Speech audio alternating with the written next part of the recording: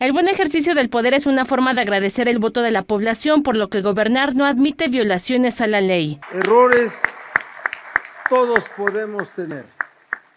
Somos humanos, pero nunca violaciones a la ley.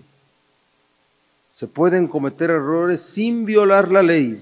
El gobernador Miguel Barbosa dijo que los funcionarios en activo deben de tener claro que las malas prácticas son sancionadas. Hoy no puede haber voluntades torcidas ya ha habido experiencias de alcaldes o que están huyendo o que están en la cárcel y que han terminado muy mal su función.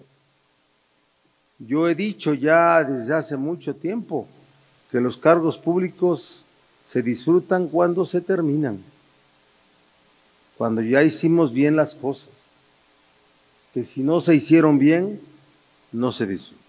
En este contexto, el municipio Evelio Navarro reconoció el apoyo del gobierno estatal para la construcción de un centro integral de servicios, la entrega de patrullas de bomberos y la descentralización de servicios a través de las jornadas de martes ciudadanos. Gracias por cumplir su palabra y destinar 25 millones de pesos para que Zacapuaxla Viva su grandeza. Luego de escuchar el primer informe del presidente municipal de Teciutlán, el gobernador dijo que la renovación del Poder Judicial en la entidad impedirá que exfuncionarios con cuentas pendientes se sumen al próximo proceso electoral y adelantó que pondrá atención en el resto de las instituciones para que quien la deba la pague. Sí, había estado en el poder un hombre sin escrúpulos. Sí, los, así se lo digo. Tiene diferentes averiguaciones abiertas de las, cual, de las cuales tendrá que resolverse cosas. Que no se apunte al 2024 sin que antes resuelva las cosas que tiene pendientes.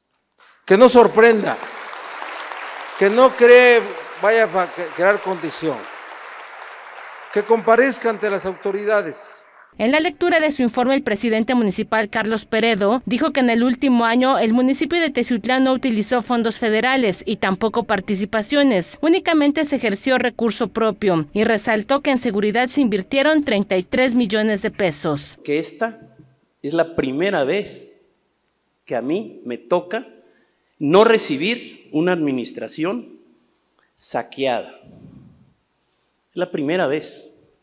Ante autoridades municipales y ciudadanos, el gobernador ofreció en el municipio de Tezutlán obras para el tecnológico, la licitación del edificio del centro escolar y la construcción de una carretera que va a beneficiar a tres juntas auxiliares, además de impulsar un clúster agrícola y uno turístico en la región, en donde hay 29 cascadas y también se producen varios productos. Sed Noticias, Miriam Espinosa.